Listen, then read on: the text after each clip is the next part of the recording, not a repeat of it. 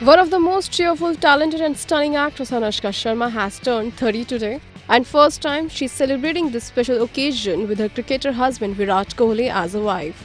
Indian cricket captain Virat Kohli has been fairly open about how Anushka's presence in his life has brought in positive changes in him. But the actress has preferred to keep her private life private. Virat wished his lady love Anushka along with a photo through his Twitter handle and wrote, Happy birthday, my love, the most positive and honest person I know.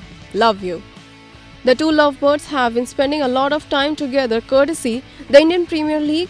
Anushka is often spotted cheering for husband Virat from the stands. Virat and Anushka, India's most watched couple, sealed their relationship with a wedding amidst close family and friends in Italy.